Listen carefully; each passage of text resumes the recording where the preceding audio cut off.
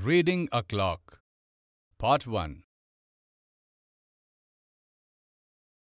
Today we will learn to read the hour hand of the clock and read the minute hand of the clock. Hello, sir. Neha and Vandana, come inside. Tell me, what is it? Sir, this time for our school picnic, we are going to the amusement park, right? Yes. So, my father wants to know what is our timetable for that day. Meaning, at what time will the bus leave from school? At what time will it arrive at the amusement park? What time we will have lunch? And what time we will return? All right, all right, Neha. I got it.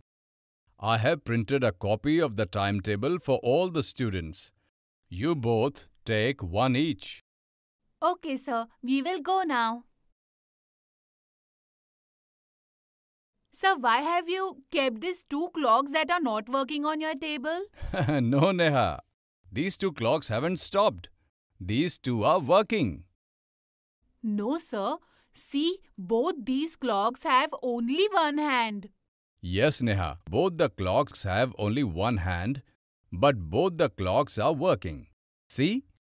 This clock only has the hour hand, and this clock has only a minute hand. And the button above these clocks can set the time by rotating these hands. So, are these two telling the right time?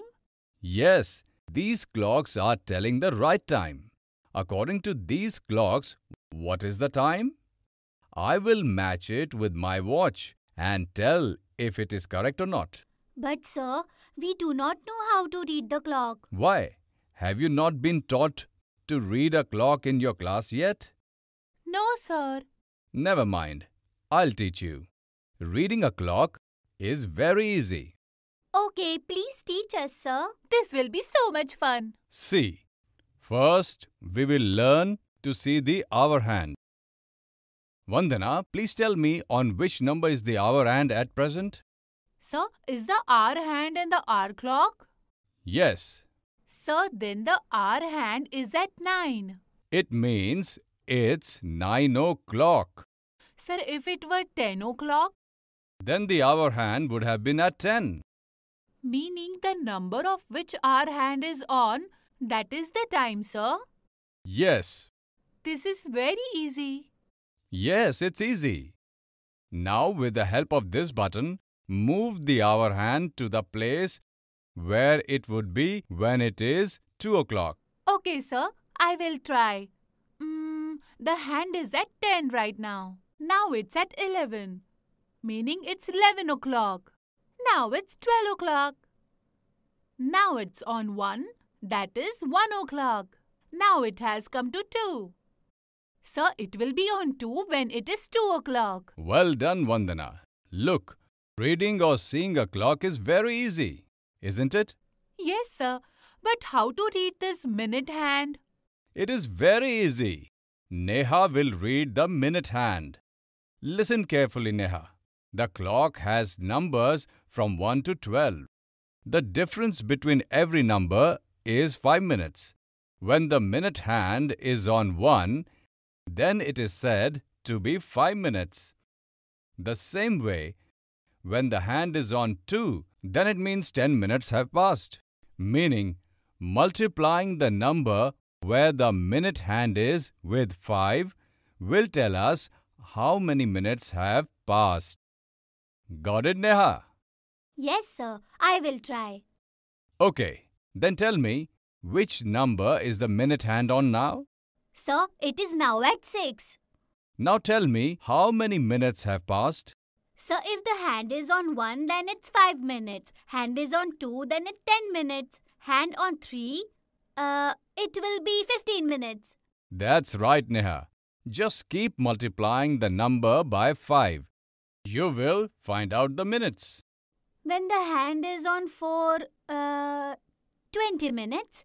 When the hand is at 5, 25 minutes. And when the hand is on 6, it will be 30 minutes.